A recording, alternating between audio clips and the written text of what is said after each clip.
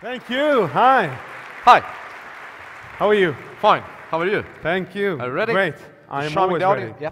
Excellent. How are you guys? Look at that. Are you excited? You don't know about what, right?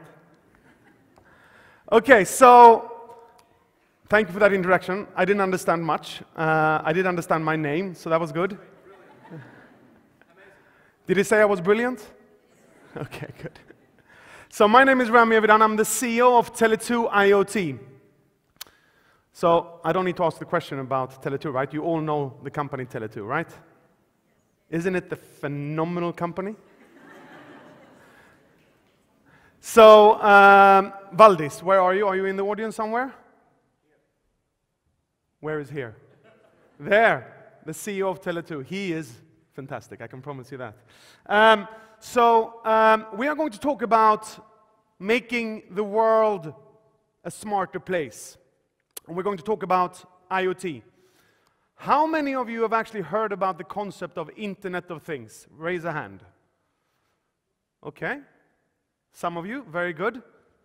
And the ones of you that didn't raise your hands, shame on you. Right? Uh, IoT is at the epicenter of everything that I do. And I will share some of the things of um, what IoT actually is and how it is going to make the world a better place. And so let's start off with a definition of what is IoT.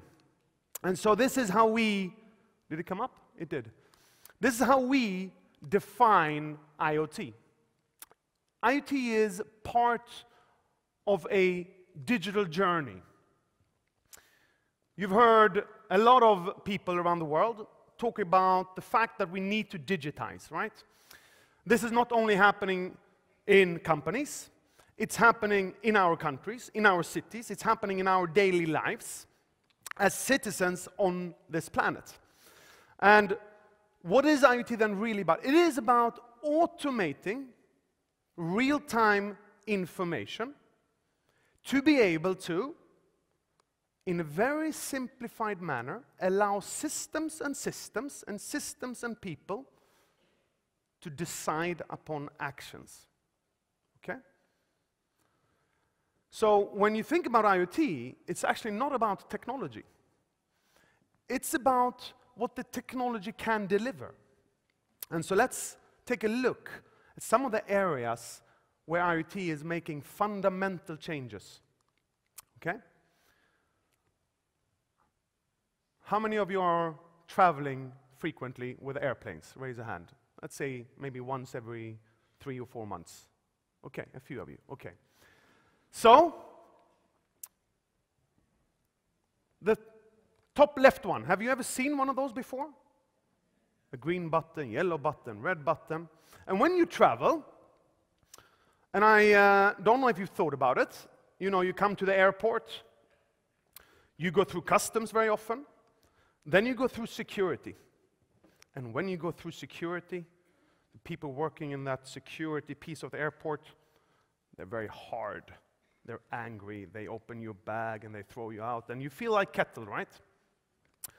And so a company based out of Croatia called Happy or Not decided to try to change behavior.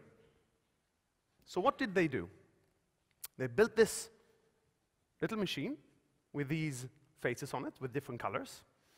And then they went to the airports and they spoke to the airports and they said, Don't you want to improve the customer experience of actually coming and utilizing the airports? The airport said, Yes, we want to do that. How should we do it? So, what they did, they went and very often at these airports, the security personnel at the airport is actually not an employee of the airport, they're insourced from a security company.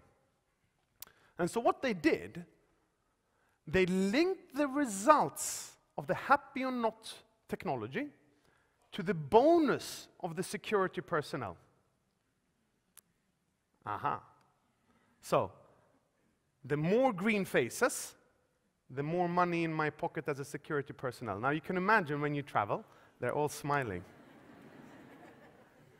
Have a nice trip, sir. Can I help you? Can I carry your luggage for you? can I offer you something to eat or drink? Well, maybe not that far, right? But, but you can understand that here we have technology changing behavior. But it will only change behavior if you've implemented the technology in the business process. Make sense? Did you understand that? Yeah?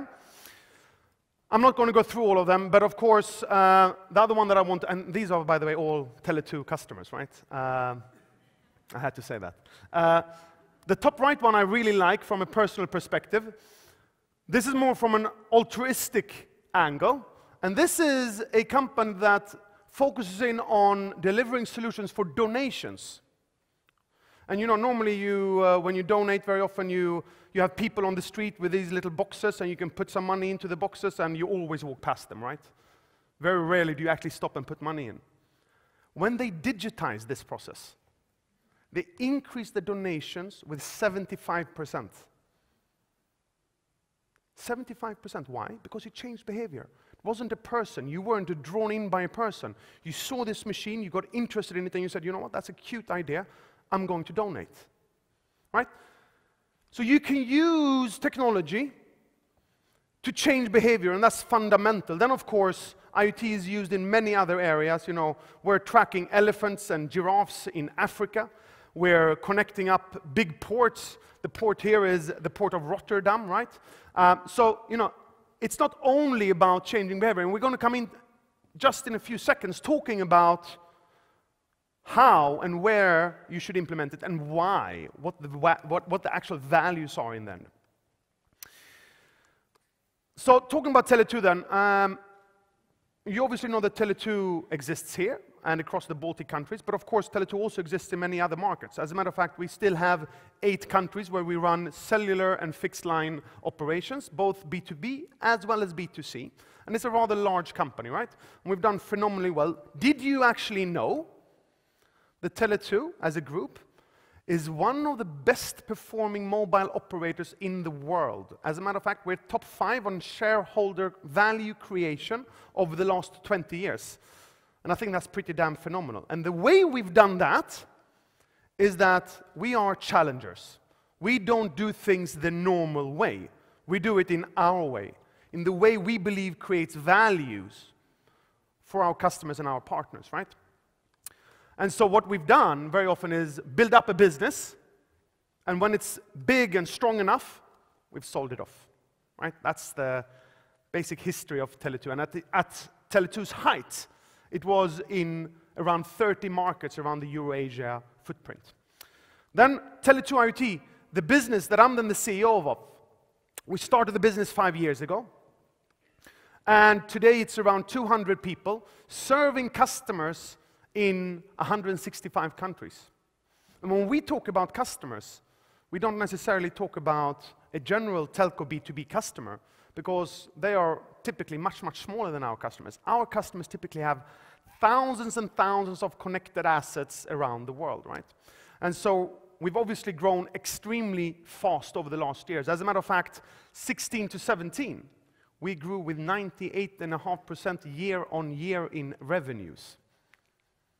Now that can tell you a little bit about the adoption of IoT around the world, right? It's growing at exponential rates, and happily enough, we're, we're growing together with it. Now, why do we see such high adoption? Well, it's on the back of the fact that there are a lot of macroeconomical aspects that are taking place that I don't think that we think about all the time. How many of you have heard about the overshoot day? No hands? Seriously, guys? No hands. Okay. The overshoot day is the day in the year where we consume more of the world's resources than the world can produce. Okay? And for every year, we lose a week. Okay? Now, what that tells you is that this is not a sustainable situation. We can no longer allow ourselves to consume the way we consume. We have to change it. Now, the way, we're not, the way we're going to change it is not going to be about telling people that you're not allowed to eat foods anymore, you're not allowed to drive your car anymore, you're not allowed to travel on airplanes anymore. The way you have to do it is that you have to become much more efficient. And I will come and talk a little bit later on how we are going to become more efficient doing it. But just to give you a snippet here, are there any people in the audience from any white goods manufacturer, you know, washing machines and dishwashers? No? Okay. Let me tell you a little bit of a secret here. We happen to have a lot of these guys as customers. Now, when you buy a washing machine, let's use that as an, as an example. How long does a washing machine live typically? Seven to eight years is the average for a washing machine. So it's not a bad, it's not a bad guess. Now, why do you think that it lives for seven to eight years? Because they want you to buy another one. That's how they make their money, right? Now, uh, as it happens, I happen to know that they can actually build a washing machine that lasts for 20 or 30 years. Now, imagine if they would do that. What would it mean to that business? It would dramatically impact their business negatively. If they remain with the same business model. But if they change the business model, their business model today is what we call a linear business model. They build and sell a product. And when they've sold it, that's it. At best, they might, say, they might sell some spare parts. If they moved over into a circular business model, where they actually don't sell the washing machine, where they sell a service of what the washing machine delivers. Now, what happens? They're going to go into the holy grail of revenue, which is the recurring revenue, i.e., every time you sell the service, you're building up a revenue stack of users using your solutions. Now, of course, in that model, it's in their interest not to actually produce another washing machine. Because they want you to be able to use the same washing machine, the same cost for a much longer period of time. That's how they will make their money, right? So what we're now seeing a huge trend of is a shift from these linear business models into the circular business models. Make sense? Do you understand? That's when you say yes, we understand. Okay. Good. Now, of course, there are lots of other macroeconomical aspects that we also need to understand, right? We're living longer, we're becoming many, many more people on this planet, and we're becoming sicker, right? We're actually not becoming healthier, although we believe we are because we live longer, but we live longer for a lot of other reasons as well. But we also have a lot of new diseases that we have to take care of. Now, these are exponential problems. And exponential problems needs exponential solutions. Now, technology is not the only solution available out there, but it's absolutely a big part of solving some of these macroeconomical aspects that we're seeing around the world. Now, let's focus in on a, a B2B for a bit here, right? Now, we go back to the white goods manufacturer, right, they're going to make this shift from selling products to selling services. That is fundamentally going to change its business, right? It's going to fundamentally change everything about them. It's going to change how they sell, to whom they sell, how they deliver, how they produce, where they produce. It's going to change their profit and loss statement. It's going to change their balance sheet. Right? This is an arduous and very, very difficult process to go through. It's not a simple matter. Right? And I know one of the topics at this conference here is about Okay, what now will happen when these companies are going to be forced to make this shift into services, where they're going to deploy a lot of technology in their organizations? Isn't that going to mean that a lot of people are going to become jobless? So, just to touch upon this for two seconds. Number one, this is not happening overnight. This is not something that is going to all of a sudden you're going to wake up one morning and all companies around the world are digitized. Doesn't work like that, right? This is an iterative process that happens slowly but surely. One thing I can guarantee you is that unless the companies actually do digitize, they are no longer go going to be with us. How many of you remember the company Kodak? Kodak? Yeah. Okay, most of you remember Kodak. Now, do you remember What happened to Kodak? There was a type of technology that they didn't adopt. Anyone remember? The digital camera. They resisted the digital camera because of the notion that, well, this is going to fundamentally change our company. We're going to, to get rid of people or retrain them, or how are we going to do it? What happened instead was that the whole company folded. So the message here is there will be a shift for people. There will be the need for retraining. Someone who's today working on a factory floor is now going to have to, to learn computing. They're going to have to be able to maybe manage a factory floor from a computing perspective. Do we believe that this is going to dramatically increase the unemployment rate? Absolutely not, because there are going to be an enormous amount of jobs created by the digital process. An enormous amount of jobs created. So there will be, however, a big shift from what they do today to new types of jobs. And now that is really what is going to happen. Now, we talked about this arduous process from moving from linear business models into circular business models, right? Now, we have hundreds and hundreds of customers around the world that have started and implemented th these types of changes. And so, what we looked at was those companies that have started doing it, are there any common denominators, a red line in all of those companies?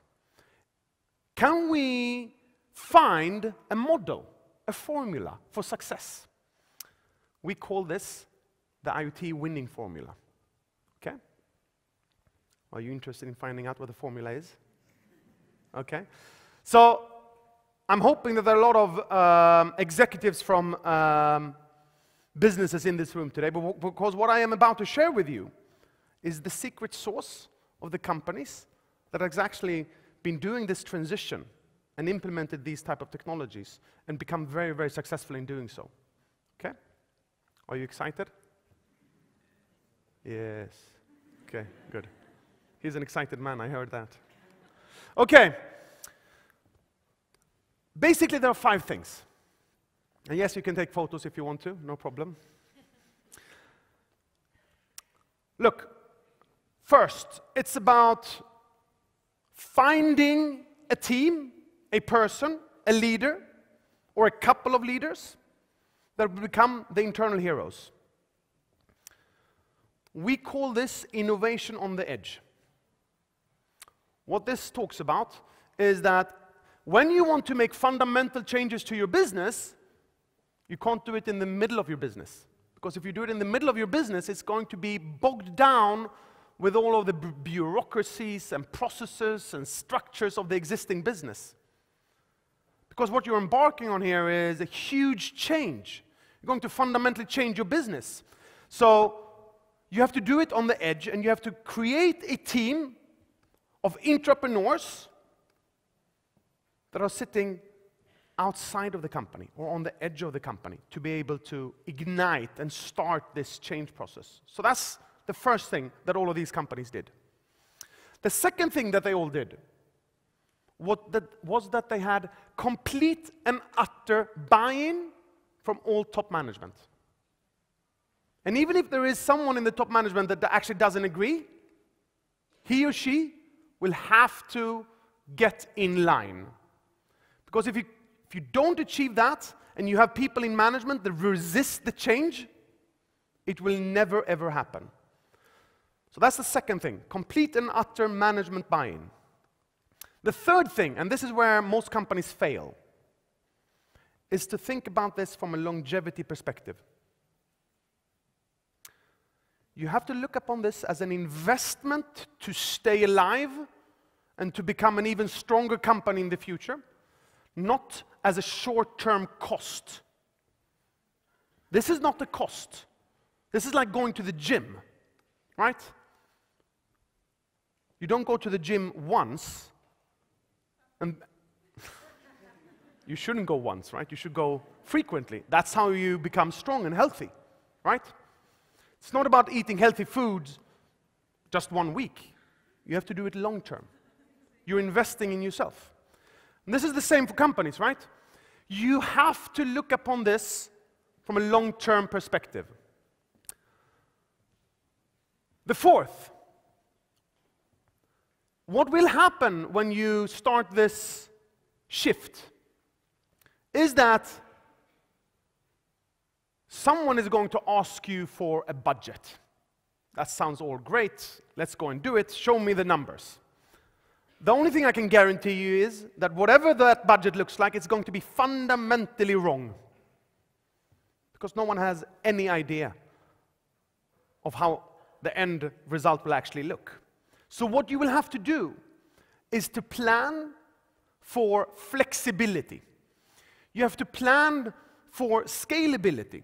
Because the way that this works is that you're going to have a big plan, huge vision.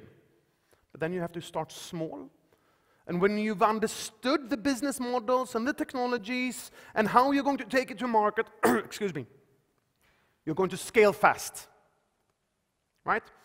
That means that you have to think about not locking yourself down with huge investments into technology or hiring a lot of people.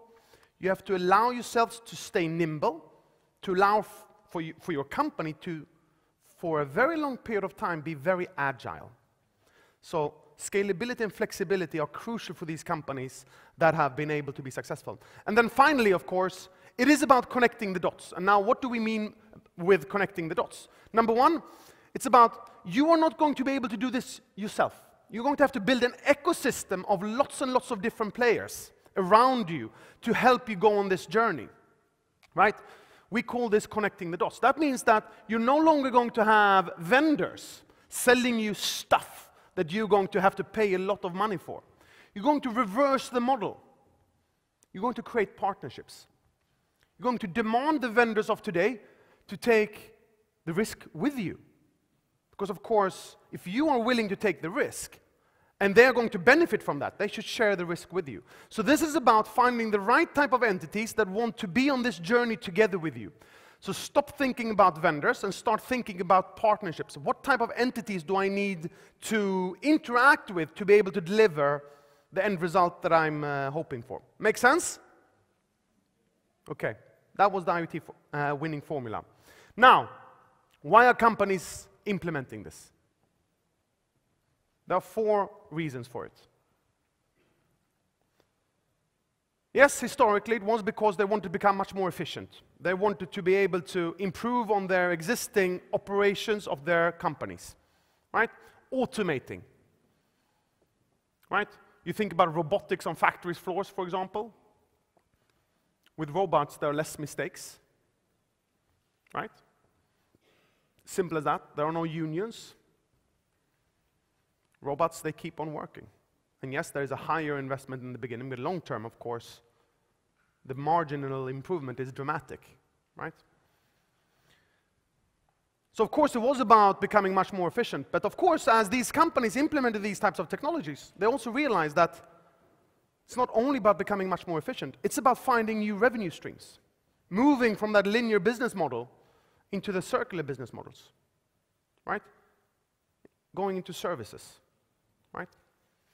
Now, when you go into service, of course, when you don't longer sell a product, when you sell the outcome of the product, of course, you need to have a very clear view and understanding of the quality of that product, right? And that allows and means that you have to have a very strong handle on the service that, you, that you're offering because you're now going to have to deliver an SLA, service level agreement. You're going to have to promise certain quality. So what happens automatically is that you have a dramatic increase of the quality that you're delivering to your customers. And that leads to the fourth very important value of why companies are implementing these things. And we call this customer intimacy. Customer intimacy is really about and you all know companies such as Google, Facebook, LinkedIn, right? Right? Yes? Okay. Now, what is it that they actually do? They make money on knowing everything about every single one of you. They are able to monetize the information that they have on you. That's their customer intimacy. Right? They know before you even know it yourselves, what you will want tomorrow. And the way that they calculate that is through statistics. Because they have such a huge number of customers that they can amass all that information and get a picture of the future. Now, customer intimacy is going to be fundamental, especially for companies living in the Western world. Historically, we've been talking about, you know, the Indians and the Chinese manufacturers. Yes, cheap, cheap products, but pretty poor quality. No longer the case, right? Today, cheap products, but very, very good products. So the only way that Western companies are going to be able to stay competitive long term is, of course, if they have a very strong relationship with the customer, where you build customer intimacy. Now, that we believe is going to be the true value that is going to be created long term when, when implementing these types of technologies. Now, let's quickly take a look at one industry that has been doing just this without you even thinking about it. Are you excited? Okay, good. Look, the automotive industry.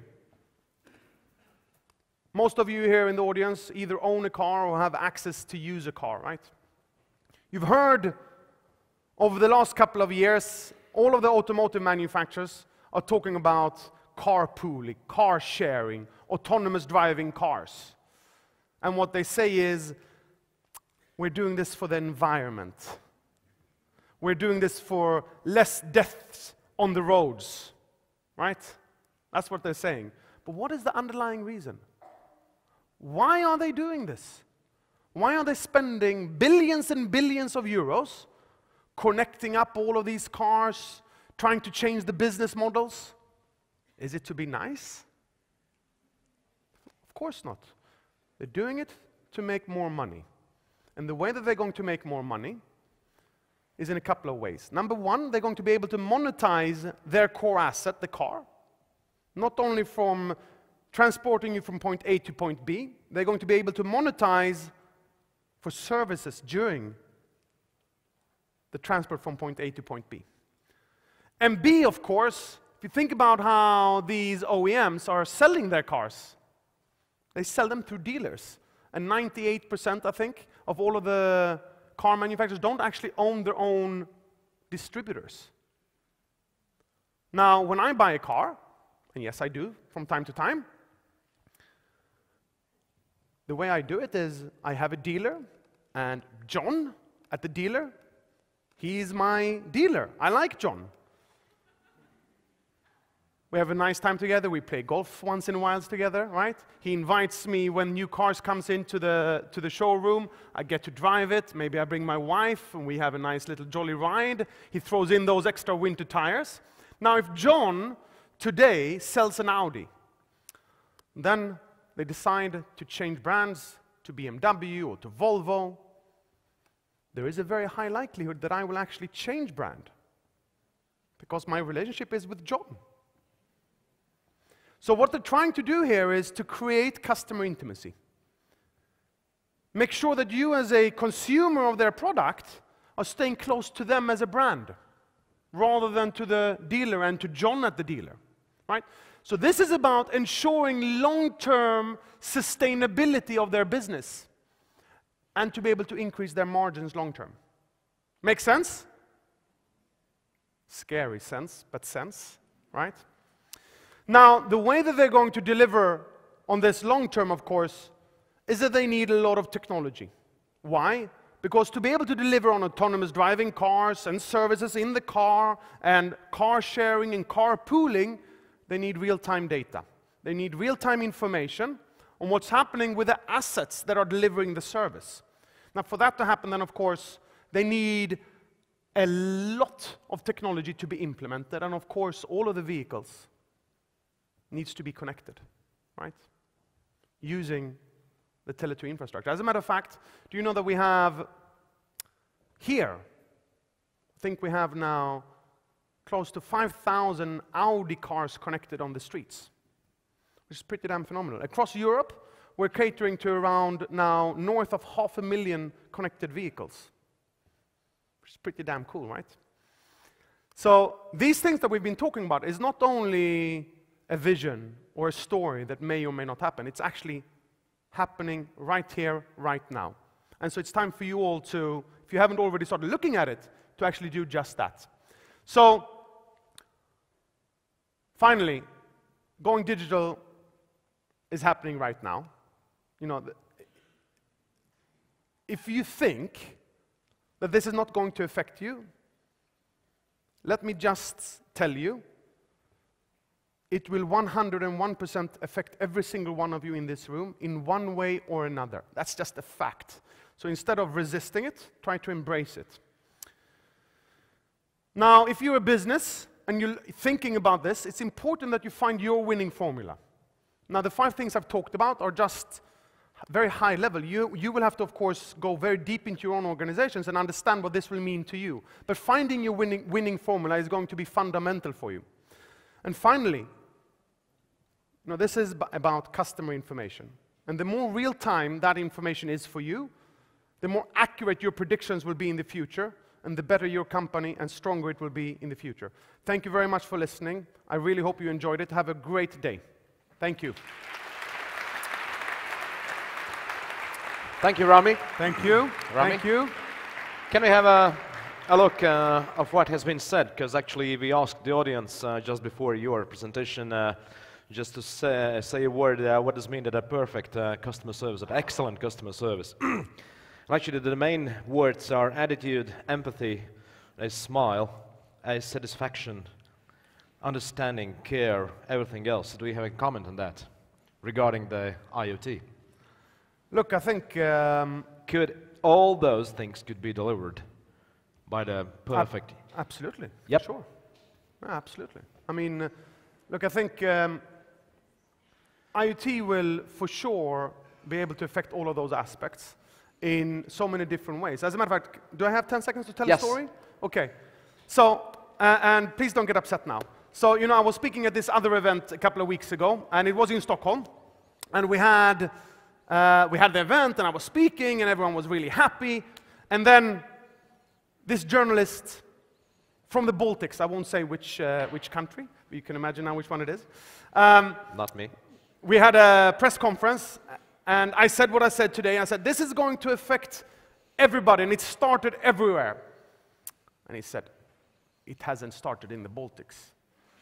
And I said to him, really? Eh, oh, that's interesting. How, how did you get here to Stockholm? He said, I, I took the airplane. I said, okay, great. And how did you get to the airport? I took a taxi, he said. I said, okay. I said, how did you order the taxi? Well, I used my app and I uh, pressed the button and the taxi arrived. Now, how do you think that works? In the taxi car, there is a little device with a SIM card in it. When someone in their app presses the button, goes a little signal to the taxi car saying, please pick me up here.